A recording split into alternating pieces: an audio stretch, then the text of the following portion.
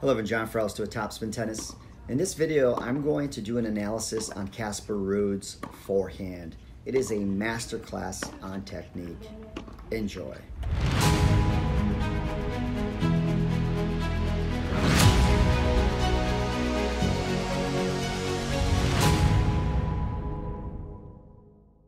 Before I get started, I have to give credit to PTSO. He shot this footage.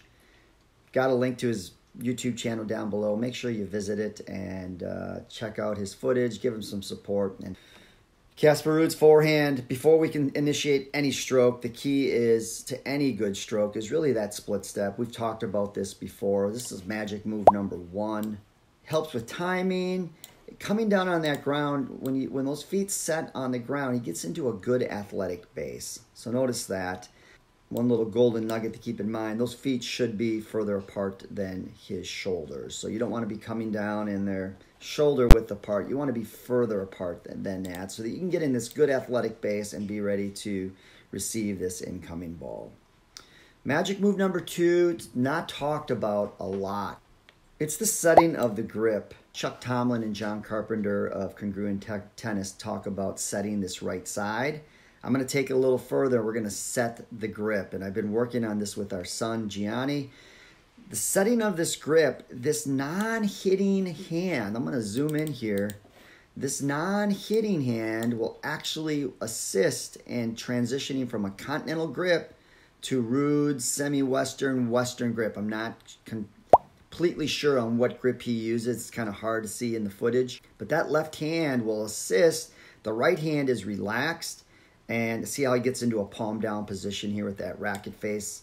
Notice the racket strings, how they're facing down towards the ground. So magic move number two is setting of the grip, using that left hand to help find the proper forehand grip. Let's look at magic move number three, and that's just the release of the non-hitting hand. Ruud does a great job of the flow here with his arms. Probably takes him up a little higher than most people. I almost I relate this to having like helium arms. Notice how the arms are free flowing here. I believe this helps with his timing, his tempo, and the flow on the stroke. So it does a great job with that. His hands actually get above his shoulder here. So more so than guys like Djokovic, who maybe his hitting hand maybe gets just at shoulder level, but Casper takes him up a little higher than most. And then the release of that hand is going to be right around 3 o'clock. You want to make sure when you release, you're not releasing like at 2 o'clock. You want to make sure you don't release those hands too soon. So he does a great job of letting go with that non-hitting hand right around 3, 3.30. So it does a great job there. He does get a little bit of tilt here with his racket face. Not as much as someone like a Dominic Thiem or Carlos Alcaraz, but he does. That racket head is in front of his hands technically here, and that will assist with the lag and that swivel. On.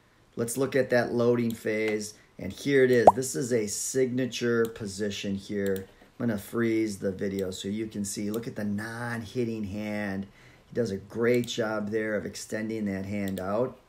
One thing to keep in mind is look at the ball and look at that hand. That ball will travel to the outside of that extended arm. That's going to help with spacing. If you're having problems that, that ball's getting too close to your body, you need to practice getting that non-hitting arm extended out to the side and that will let you know how far away to get from the ball. I've talked about this signature 90-10 position. Notice how 90% of the weight is on his right foot and 10% is on the left foot. Chin is over his shoulder. That is a beautiful signature position here. He is balanced. He should be able to balance a book on his head. I think in this situation, he can.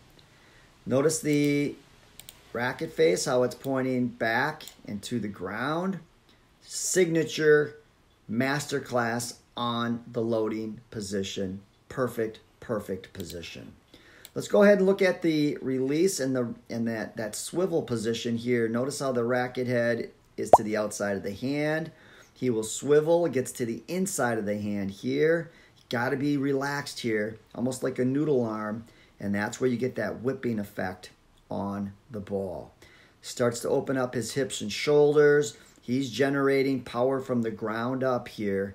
Beautiful, beautiful position. And let's look at that contact point.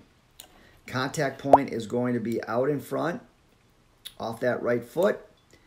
And notice now how his chin is over his right shoulder. It was over the left shoulder in the loading phase. Now that he's uncoiling, he is starting to open up and it's over his right shoulder and his chin is fixated on the contact point.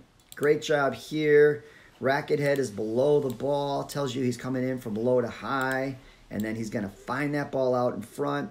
He compresses it, which a byproduct is just that that extension out. He pulls, compresses, pulls up and across, and then look at that finish.